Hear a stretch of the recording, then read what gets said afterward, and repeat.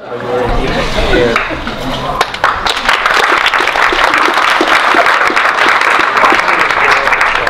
afternoon, students, parents, and faculty, and any other friends from the Green Meadow community. Our 7th and 8th graders have been hard at work for many weeks now preparing this entertaining show for you. Today is our third performance, and if you like what you see, you can get to see a slightly different cast tonight at 7 p.m., which will be our finale, our final performance this evening. There will be one intermission during the show. It'll be pretty clear. The house lights will go up, and that will be your cue to either sit quietly or quickly take a bathroom break if you need one before returning quietly to your seats. And now, without any further ado, I would like to, on behalf of the 7th and 8th grade, invite you to climb aboard our pirate ship and embark with us on a journey to the coasts of England around 100 years ago as we present to you the Pirates of Penzance.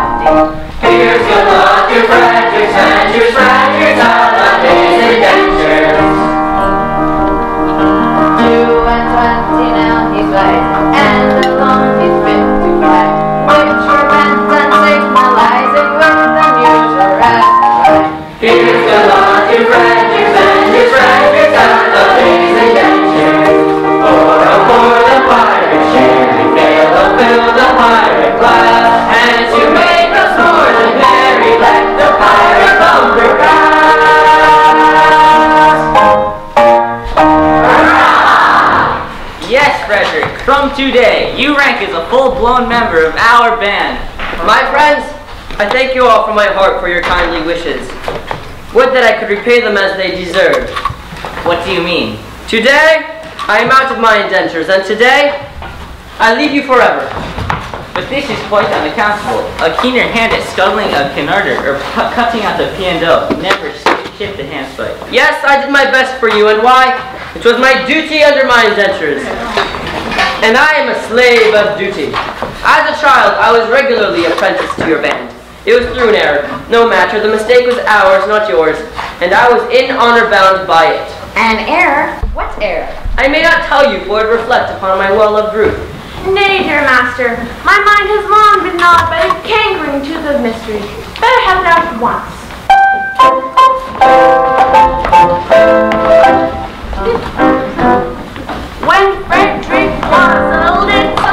Lad, he proved so brave and daring. His father thought he'd him to some career seafaring. I was alas his nursery maid, and so it fell to my lot to take and buy this promising boy apprentice to a pilot.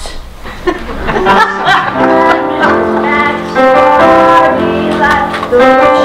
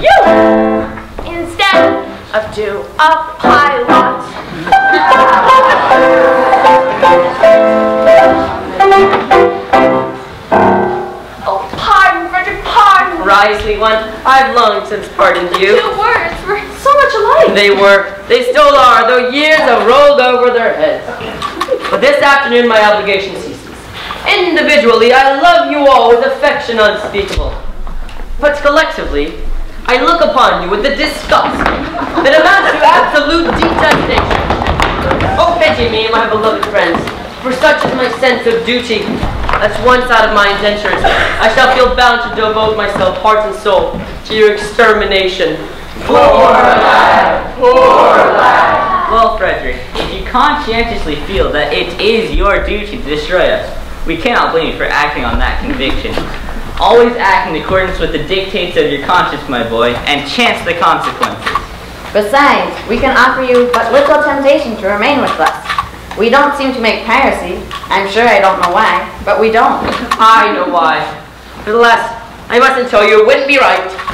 Why not, my boy? It is only half past eleven, and you are one of us until the clock strikes twelve. True, and until then, you are bound to protect our interests. Here, here. Well, it is my duty to tell you as a pirate that you are too tender-hearted. For example, you make a point of never attacking a weaker party than yourselves, but when you attack a stronger one, you invariably get thrashed. There is some truth in that. Then again, make a point of never molesting an orphan. Of course, we are orphans ourselves, and know what it is. Yes, but it has gotten about. And what is the consequence? Everyone we capture says he's an orphan. The last three ships proved to be manned entirely by orphans, and so we had to let them go. One would think that Great, Great Britain's whole mercantile navy was recruited solely from her orphan asylum, which we know is not the case. But hang it all, you wouldn't have us absolutely merciless. Ah, that's my difficulty. Until 12 o'clock I would. After 12 I wouldn't. Was ever a man placed in such a delicate situation? And Ruth, your own Ruth, who has won her middle-aged way into your boyish heart. what is to become of her? Oh, he will take you with him. Mm. Ruth, I feel some little difficulty about you. It's true I admire you very much, but I have constantly been at sea since I was eight years old, and yours is the only woman's face I've seen in that time. I think it is a sweet face. It is, oh, it I say I think it is. That is my impression. But as I have never had the opportunity of comparing you with other women, it's possible I, I may just be mistaken. True. What a terrible thing it would be if I were to marry this innocent person to find out she is on the whole plain. Oh, Ruth is very well. Very well indeed.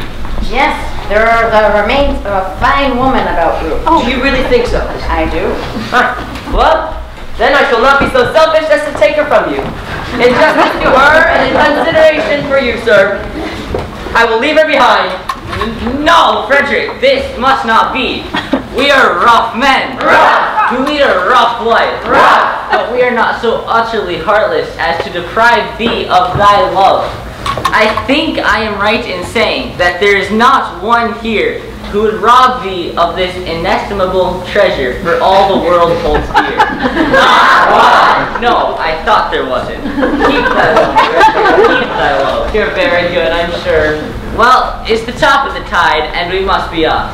Farewell, Frederick, and when your process of extermination begins, let our deaths be as swift and painless as you can conveniently make them. I will. By the love I have for you, I swear it.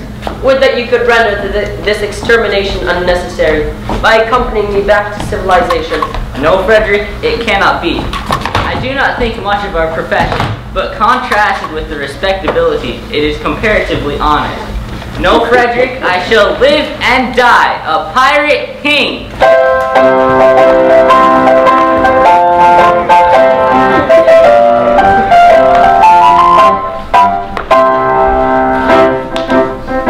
Oh, better far to live and die under the brave black flag I fly, then play a sanctimonious part with a pirate head and a pirate heart.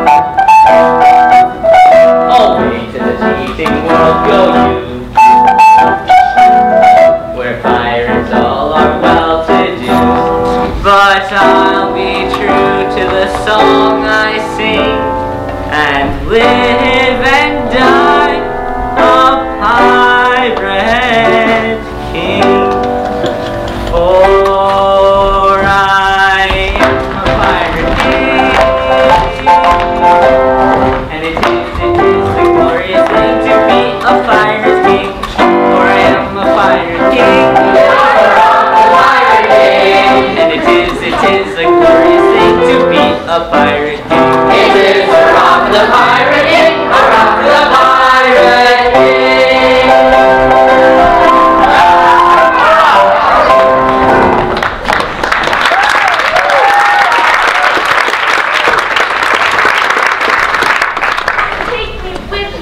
cannot live if I am left behind.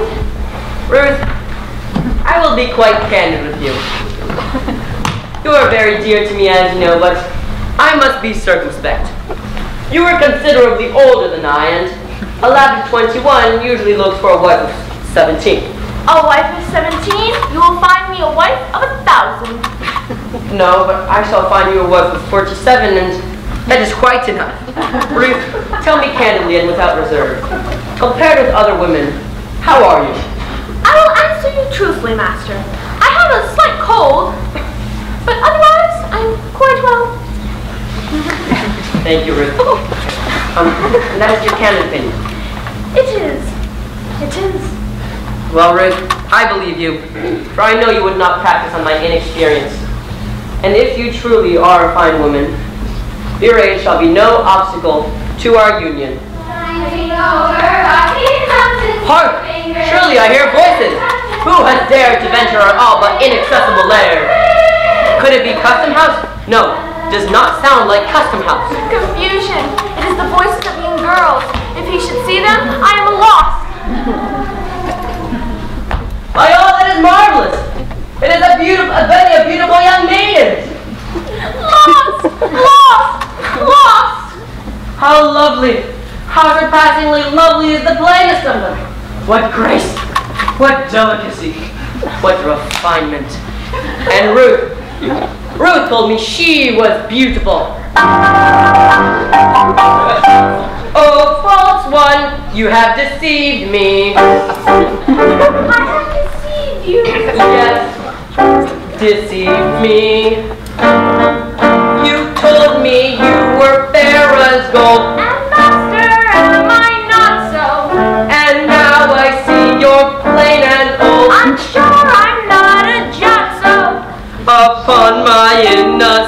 you played. I'm not the one to blosso. Your face is lined, your hair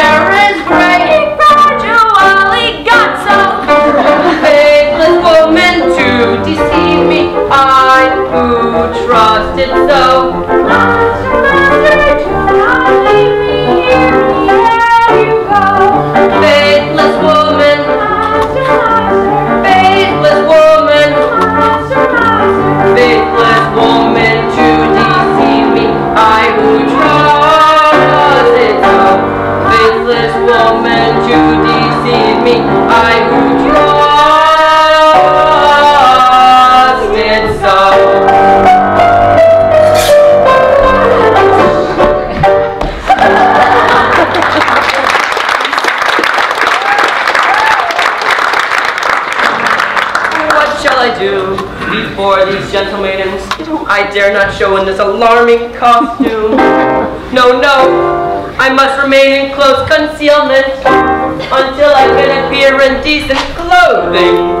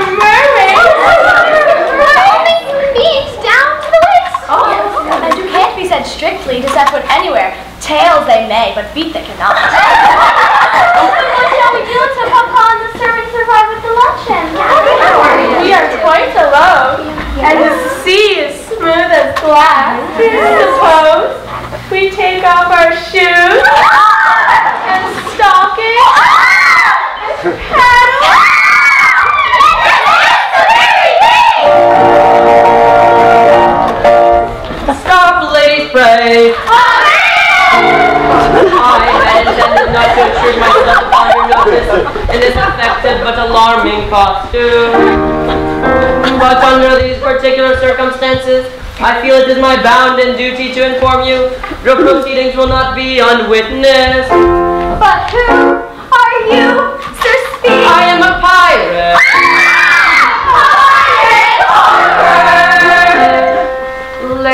much on me.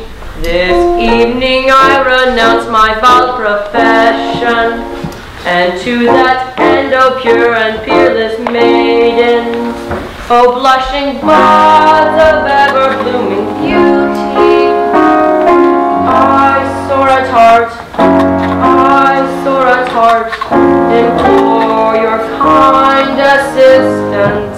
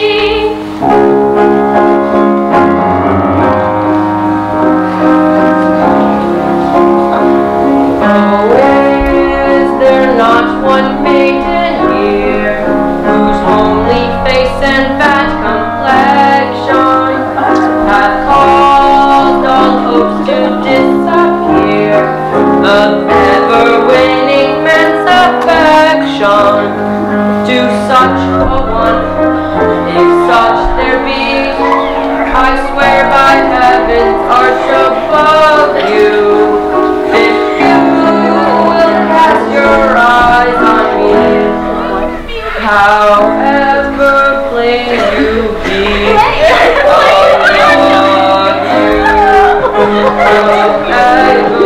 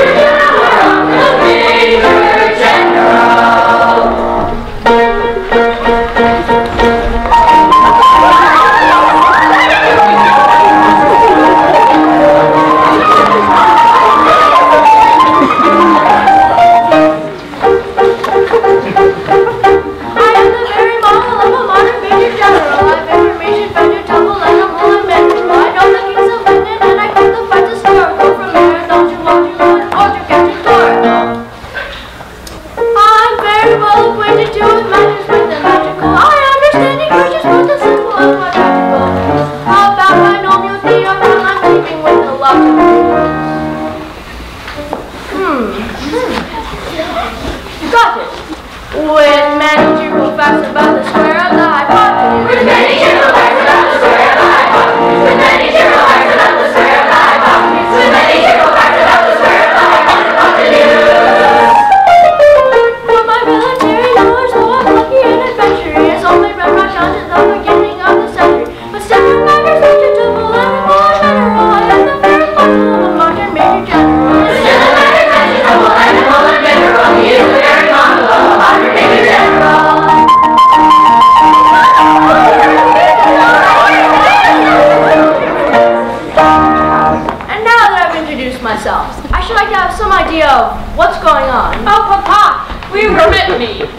explain in two words.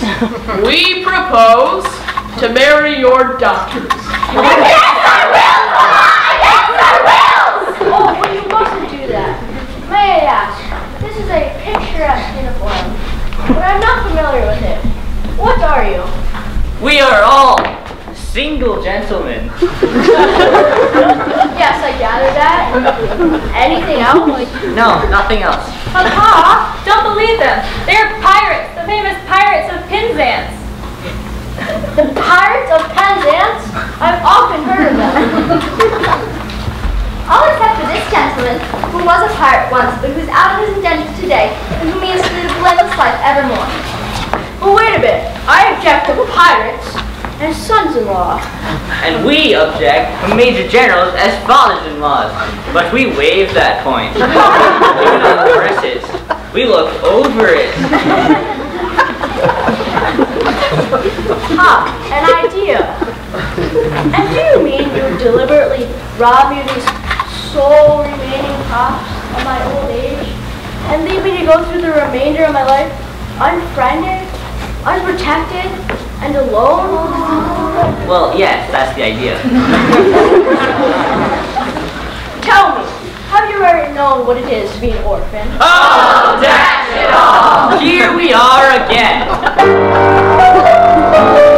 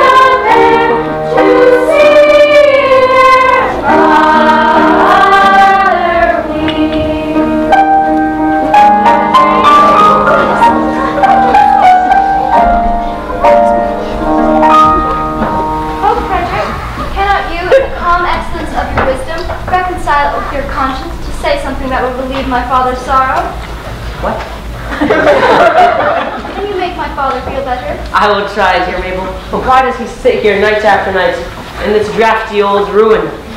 Why do I sit here? To escape from the pirates' clutches. I describe myself as an orphan, and heaven help me, I am no orphan. I come here to humble myself before my ancestors and to implore their pardon for having brought dishonor upon what I have no doubt was an unstained family of. But you forget, sir. You only bought this property a year ago. The stucco on your baronial hall is scarcely dry. Frederick, within this chapel are ancestors. You cannot deny that. With the estate, I bought the chapel and its contents. I don't know whose ancestors they were, but I know whose ancestors they are. And I shudder to think that their descendant by purchase, if I may so describe myself, should have brought dishonor upon the family of Scotland.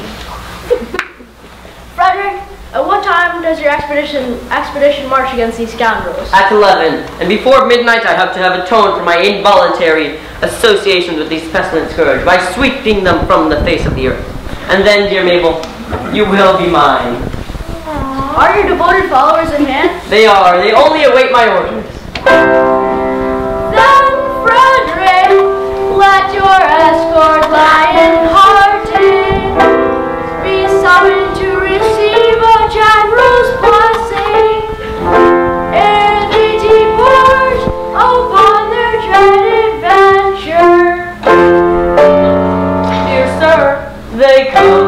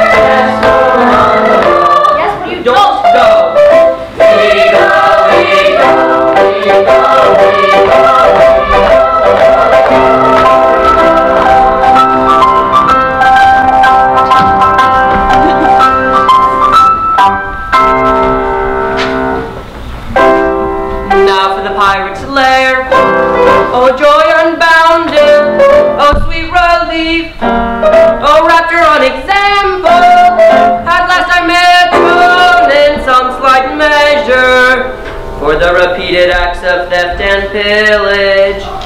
That out of sense of duty, stern dictation, our circumstances victim have been guilty. Young Frederick, who calls your late commander.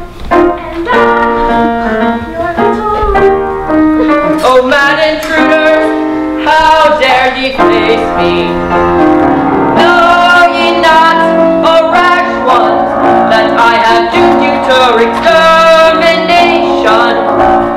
Have mercy on us. I I listen to you. Yet mercy should stern.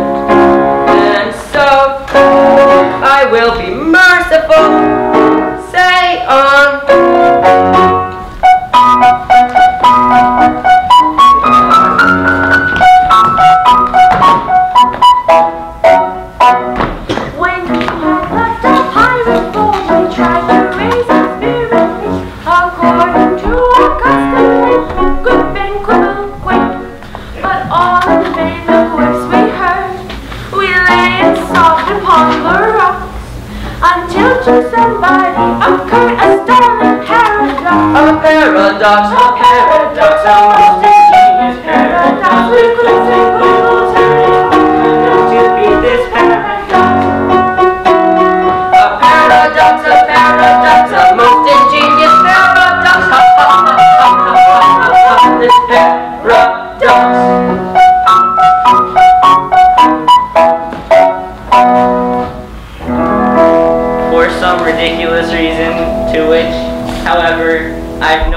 desire to be disloyal.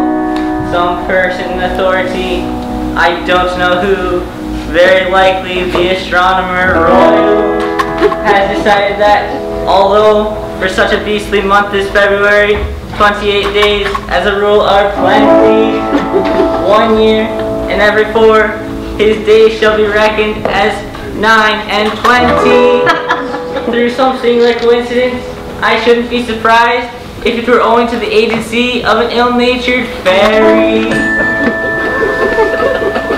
You are the victim of this clumsy arrangement, having been born on leap year on the 29th of February. And so, by a simple arithmetical process, you'll easily discover that though you've lived 21 years, yes, if we go by birthdays, you are as yet only five little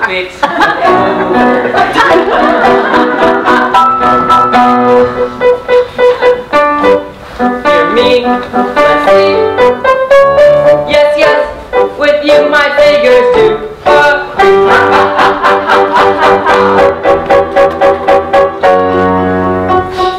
How quaint the ways of paradox, at common sense she gaily mocks. Though counting in the usual way, years 21 I've been alive. Though reckoning by my natal day, though reckoning by my natal day, I am a little boy of five years, a little boy of five.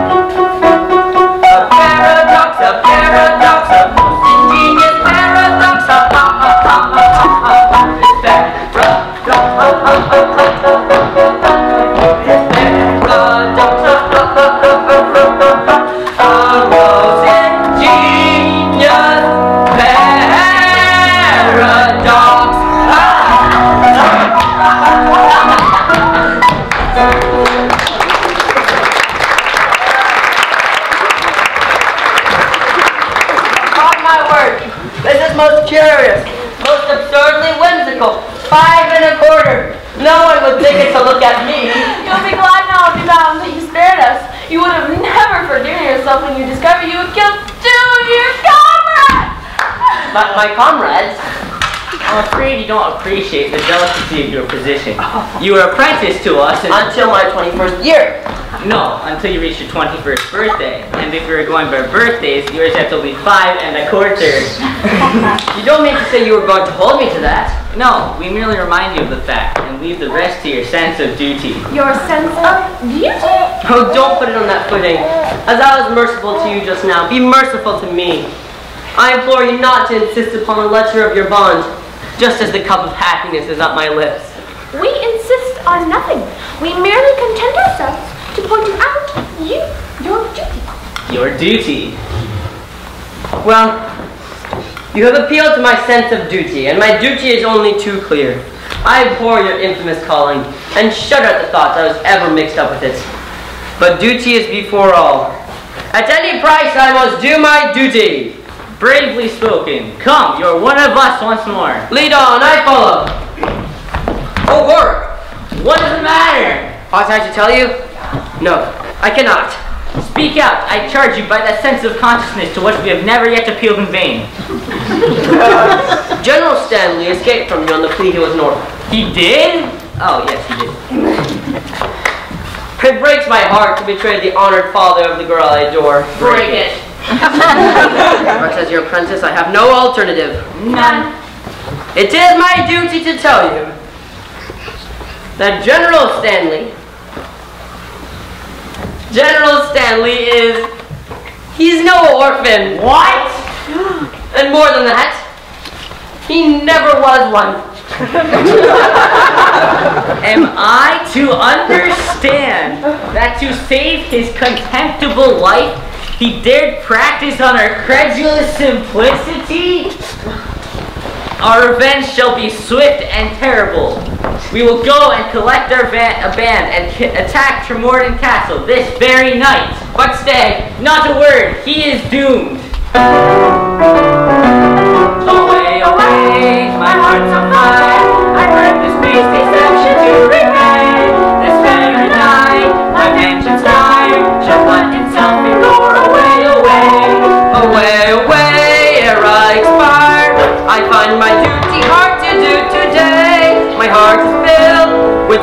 dire. It strikes me to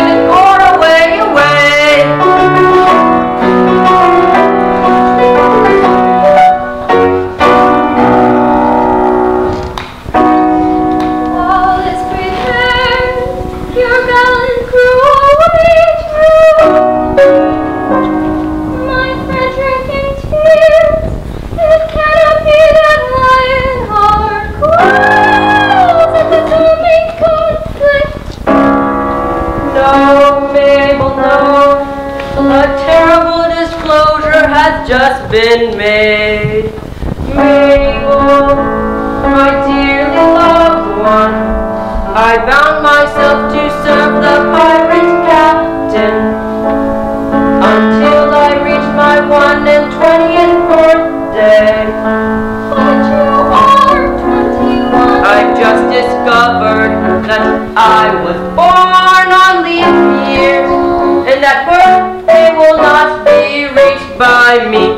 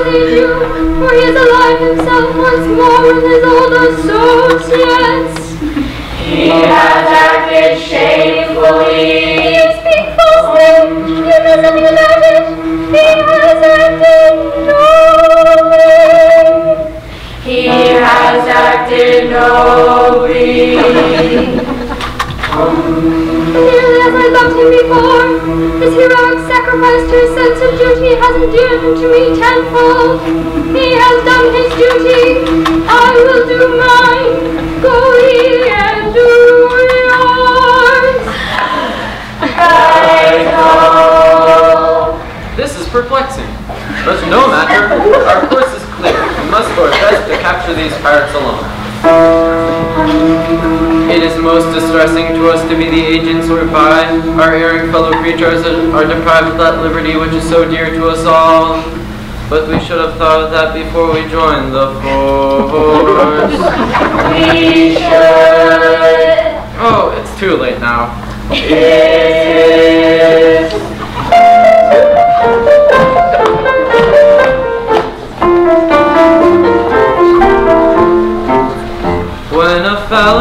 engaged in his employment. His employment. Maturing his felonious little plans. His capacity for innocent enjoyment. Such enjoyment. Is just as great as any honest man. Honest man our feelings we with difficulties mother. When constabulary duties to be done. To be done. I take one consideration with another. With another. A policeman's lot is not a happy one. Ah, when constabulary